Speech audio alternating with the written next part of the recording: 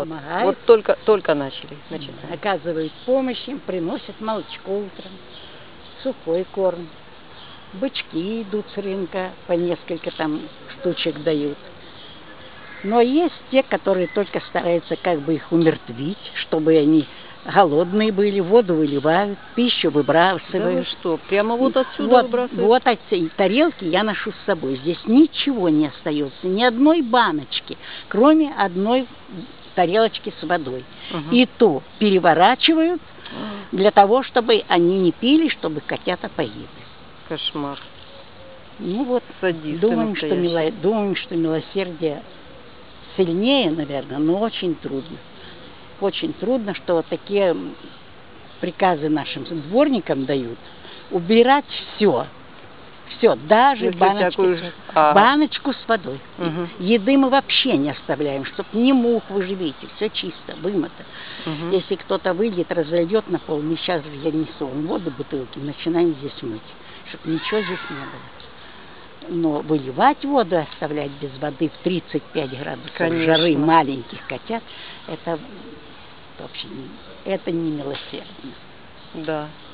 А вы это в обществе защиты животных или Я не в обществе, я в своем. вот сами по себе, да? Да. Я к тому, что у нас кирчане не только вот в обществе заботятся, но вот по Да, вот я так по месту много хожу, да, по городу и все время вот кто-нибудь да подкармливает. В каждом квартале Да, есть да. свои люди, которые заботятся об этих несчастных. Есть, есть. У нас котятах. героев Сталинграда с улицы есть женщина одна недалеко работает, она каждый день приходит. Она говорит, я 20 лет уже кормлю здесь всех кошек.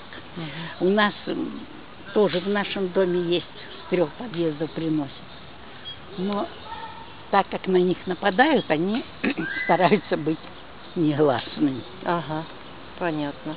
Спасибо вам большое за рассказ. Пожалуйста, За мне кошек. за ваше внимание к этим животным. А вот расскажите про эту кошку.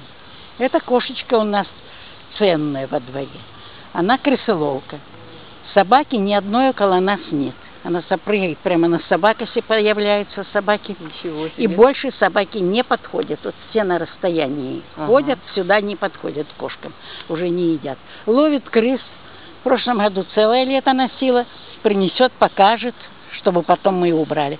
Уже и в этом году с подвалом, наверное, вылавливает их. Вот молодец. Приносит, да. Были у нее котята, котят разобрали.